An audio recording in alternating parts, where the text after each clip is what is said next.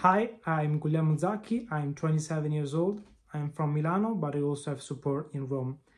I realized that I want to be an actor in life when uh, at the age of 13 I did my first theater show and uh, the emotion I felt that moment made me think that this could be my life's work.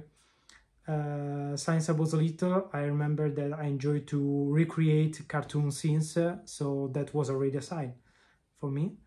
And uh, I am a dreamer. In fact, one of my goals is to reach the big international stages, not just the Italian one. And uh, I consider myself a calm and sociable person. I'm very close to my family and friends. And uh, one of the main reason, if not the most important, why I choose to be an actor is because uh, I like to make people feel emotion, in, partic in particular making them laugh. I love when the people smile, are happy and uh, laugh.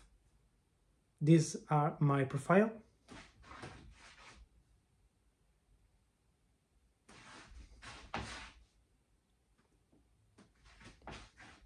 My hands.